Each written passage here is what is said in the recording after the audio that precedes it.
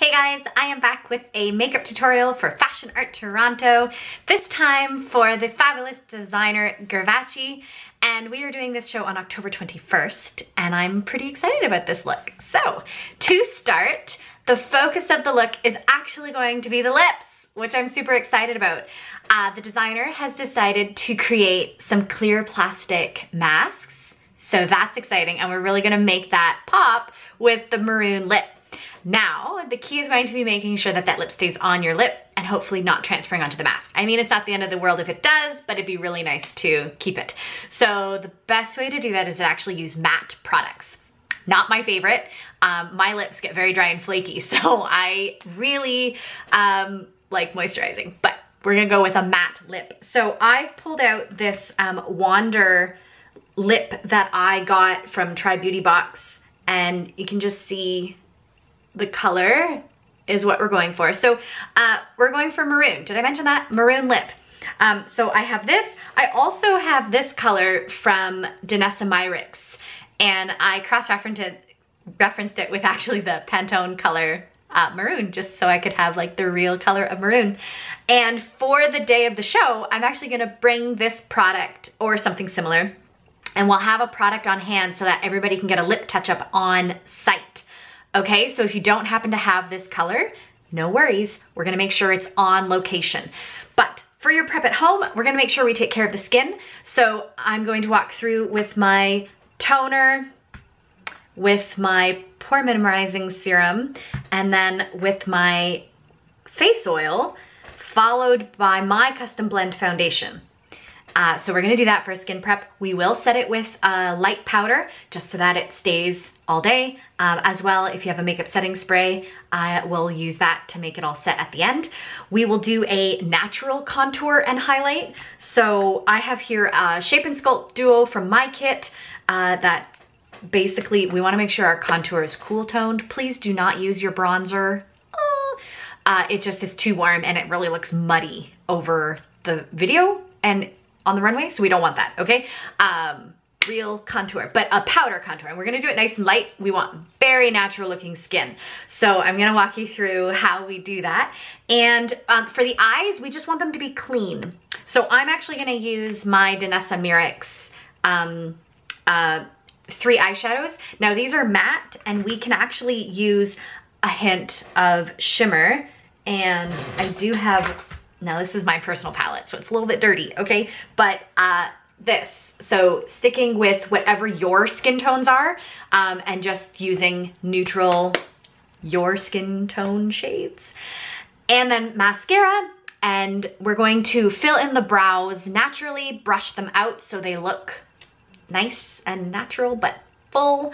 And I think that's all. Oh, and maybe a little bit of a, a light shimmer uh, for a beautiful highlight up on the upper cheekbones so it's like above the mask. Maybe, I mean, we're playing with this. So to get started, I'm going to uh, tone my face first. So my first product is just, it's actually a rose water that I made. Mm. And it's just going to provide a little bit of hydration and soothe my skin. So from there, um, I'm actually gonna use, this is a pore minimizing serum, so it kind of um, works, it's got some actives to work with my skin and also hydrates. So I'm using a bit of a multi-product. And I am getting over a cold sore on the tip of my nose. Kind of think of it's adorable, right? And uh, for now, I'm just hydrating it and uh, not, not really covering it.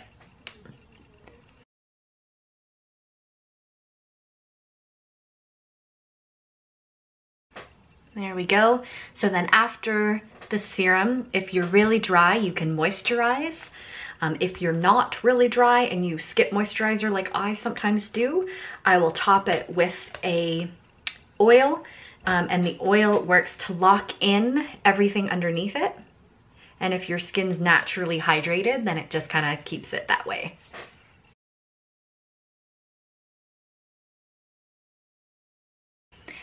And then right after I put that oil on, I am gonna put on my foundation. What that's going to do is keep my foundation nice and natural looking. and remain glowing again, which is what we're going for. So this is just my foundation. It's a custom blend that I whip up. Can you just see that like healthy glow that comes back into my skin?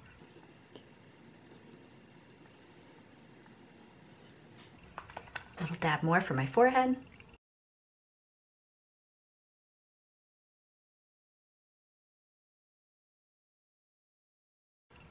And then I'm just gonna dab on a little eye cream underneath my eyes.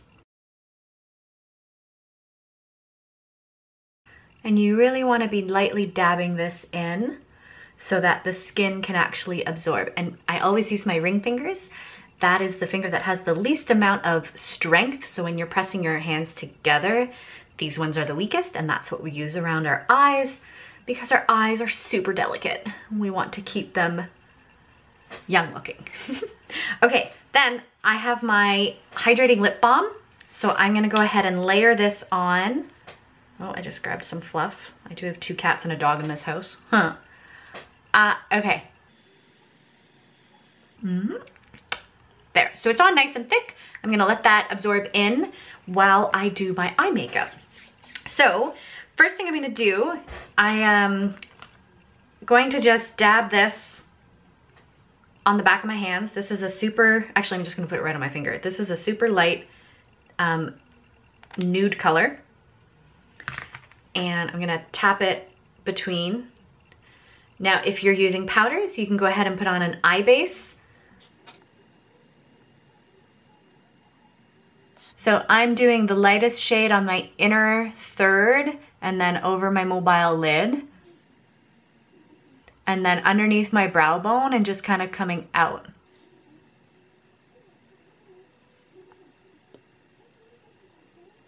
Oh, I like that. Okay. Haha.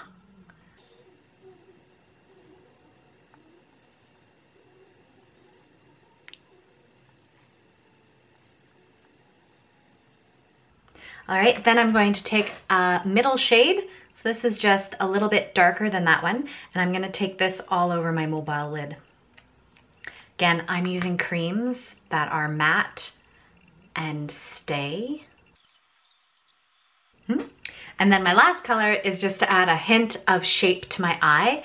And I will use this with my little crease brush because I really wanna make a curve. So I'm gonna put it on the back of my hand, just a little dot. And then I'm going to use, this is a cute one I got in one of my boxes. So it's just a little, that doesn't help, I'm so pale. It's just a little round brush. Um, I did clean it, it's from yesterday. It has a little of the dark stuff on it, but it's clean. So I'm gonna take that and I'm gonna just dab it in the outer corner and kind of blend it in and then blend it up and around. And then actually I'm gonna switch to a fluffier brush and really blend that in. Hmm. Awesome. And then same thing on the other side. Outer corner, and then dub, grab that around. And then I'm using my bigger fluffy brush to really diffuse the edges so that it's a really soft application and there are no lines. Ah, voila. All right, then, uh, actually, I'm gonna show you, so let's add a little bit of a shimmer. If you have shimmer eyeshadows at home, you know, even highlighters, um, just a nice wash of color. So I'm gonna use my loose, fluffy, and I'm going to go with this color right here. It's kind of like a champagne or a pearl And I'm just dusting that all over my mobile lid and then a little bit under my eyebrow. And to use a highlighter for this step is actually amazing as well. There. So for the eyes, we're not going to use eyeliner for this, but we are going to use mascara. Um, I'm going to put on my heated lash curler. If you have a lash curler at home, go ahead and gently clamp and lift and twist. I use a heated one. I got this on Amazon. Um, it's called the New Eye Curl 2. I've been using these for like over 10 years now. And this one actually broke in my kit. I don't know if you can see it separated a little bit. So I'm using it on myself now. And uh, it's, anyways, it's been fine. It's been 10 years. So once it's on, it's warm. Um, you can actually go underneath your lashes and then just kind of lift up your lashes and the heat will keep it in place.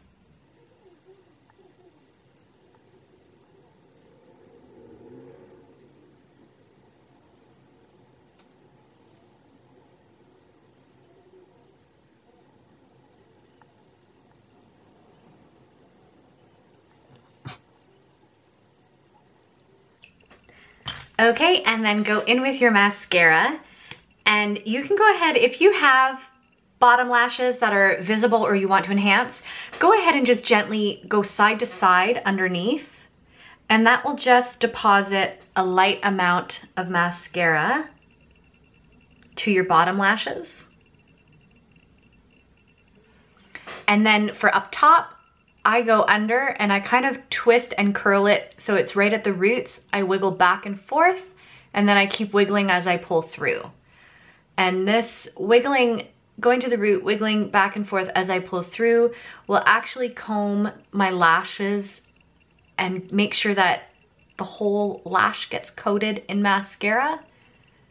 And then if you wanna add a bit of length, you can actually turn it um, more vertical and come up like this and just kind of paint those tips.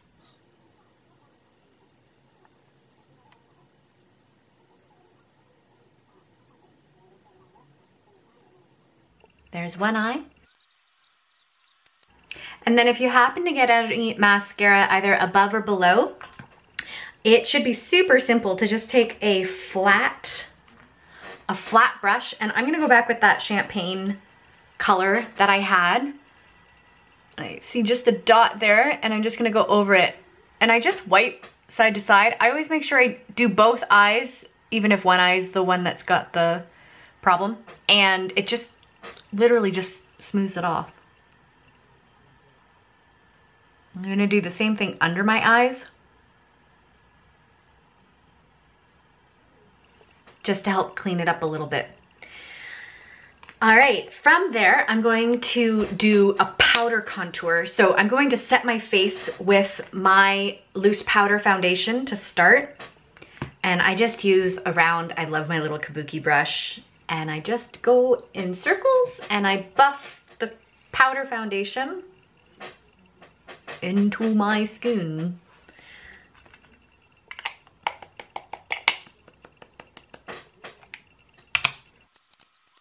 All right, now from there, we're gonna talk contour.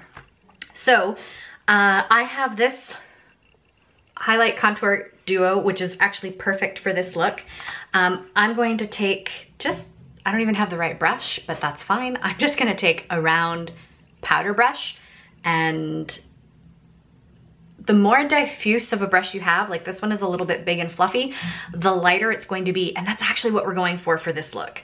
So um, the, the key spot is this cheekbone here. Now, I actually took human anatomy, which was fun. And so I got to see the jaw and the bones and how the muscles lie. And we actually want this hollow part. So if you suck in your cheeks, that hollow right there is where, and then the spot is actually where we put our hair behind our ears, like that, that spot right there. So we're literally doing just a line here. So I'm going to start at the back and come forward and then just go back and forth and just layer it a little bit. Then I'm gonna come a little bit around my forehead, just like a soft halo. And then come this way. Now, I don't ever contour my nose. I think it's 3D, it, just leave it. Uh, if you want to, you can just do a hint there and a hint there. If you feel your nose is too long, you can do a hint at the very end. Mm-hmm. Uh, yeah, if your chin is too pronounced, you can contour that a little bit. but that's it, all right? Now, um, highlight, let's do highlight. So I have a different brush for highlight and I'm gonna try this one, but I am so pale that I really need a shimmer for highlight to actually come across. So, I mean, I can put this on, but it's pretty much my skin tone.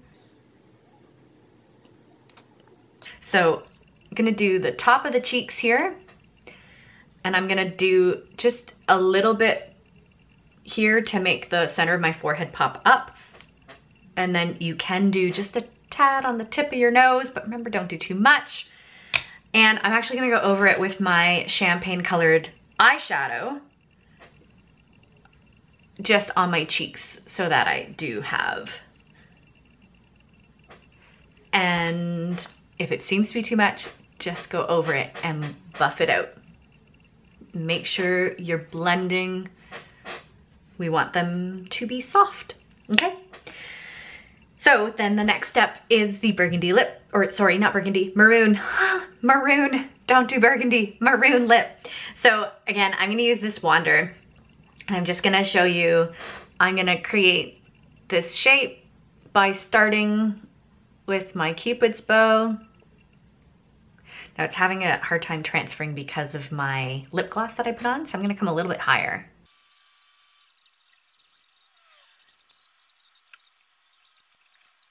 There.